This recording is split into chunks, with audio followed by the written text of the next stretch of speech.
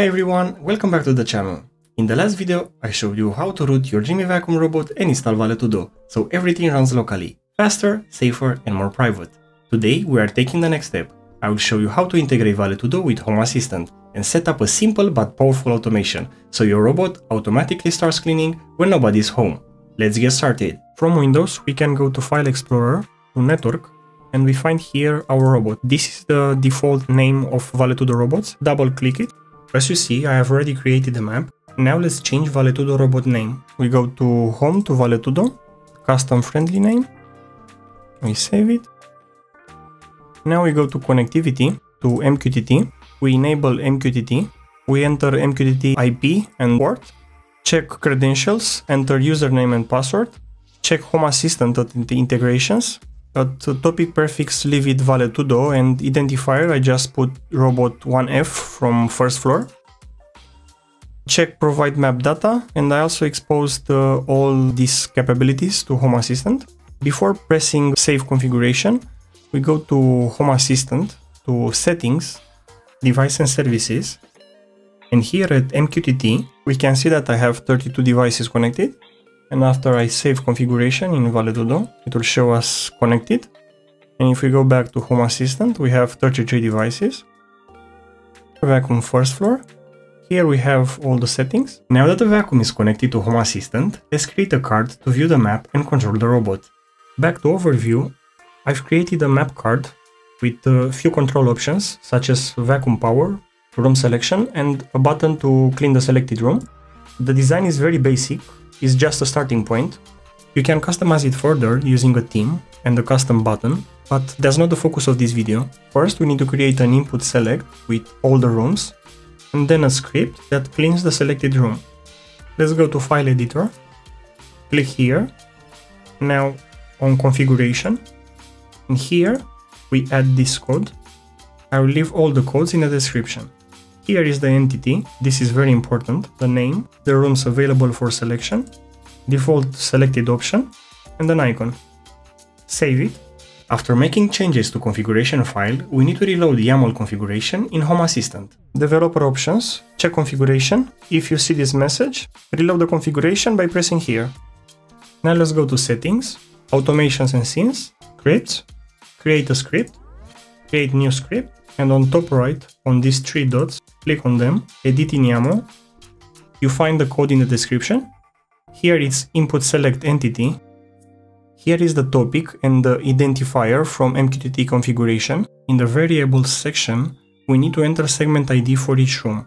To find the ID for your segments, go to developers, to states, set state, select an entity, type seg, select your vacuum. I will select vacuum from the first floor and you have here all the segments with IDs in front. The name of the input select one more time and save script.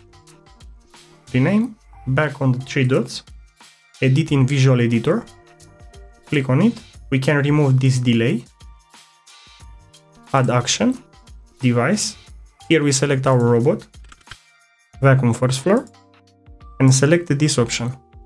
Save script, let's reload the configuration one more time, Back to overview. First I will remove it and show you how to create it from scratch.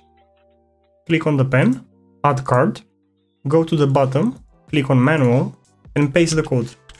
The entity of the robot, so the topic and the prefix from MQTT configuration, the title, map scale, you can zoom in or zoom out the map,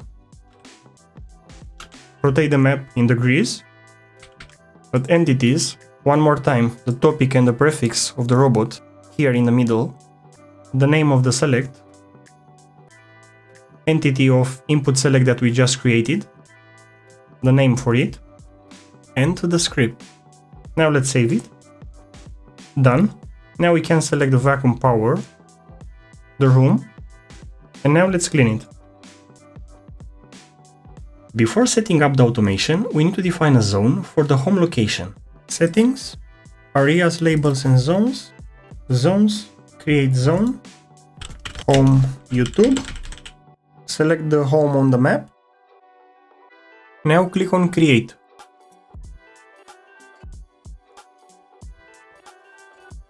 Now we'll check which devices are connected to Home Assistant and select our main phone for this automation, as Home Assistant will use it to determine our location.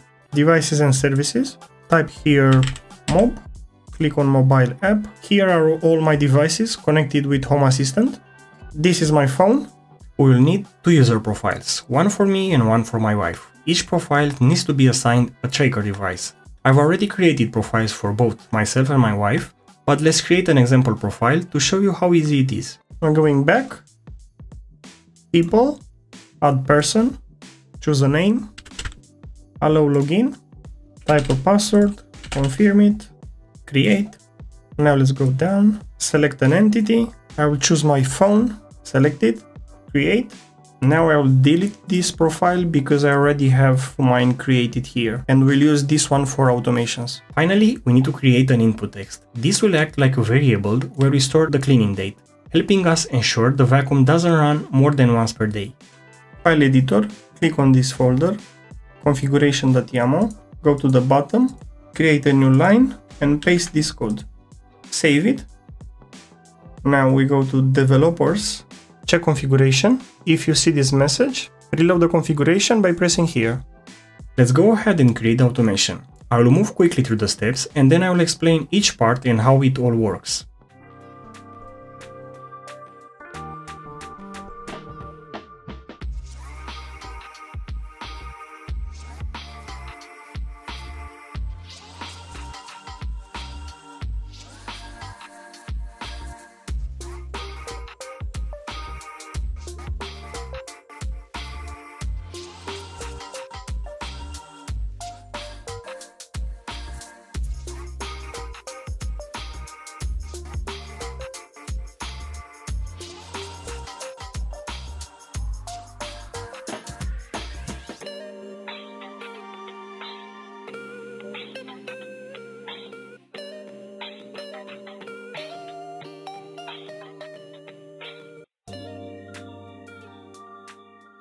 Made a small change to the automation, which I will explain in a moment. We have two triggers. If either Adrian or Alina state changes from home to away, the automation will be triggered. This is based on our phone GPS location.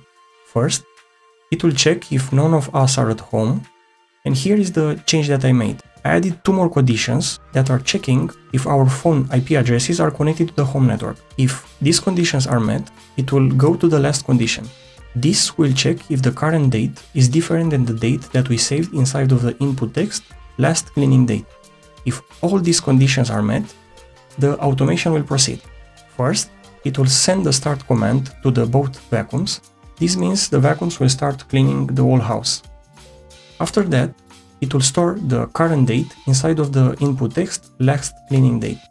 This way, even if the automation is triggered again on the same day, it won't run the cleaning again, since the house has already been cleaned once that day.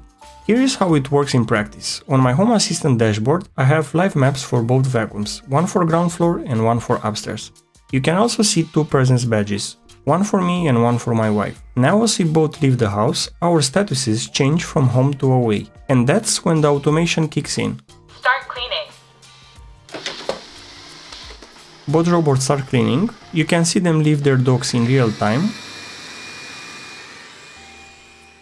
On the live cleaning maps, you can follow their full path as they move through the house. I sped this part up to keep it short, but you get the idea, everything runs automatically, no buttons pressed. So that's how I got my vacuum robot to start cleaning when I'm away.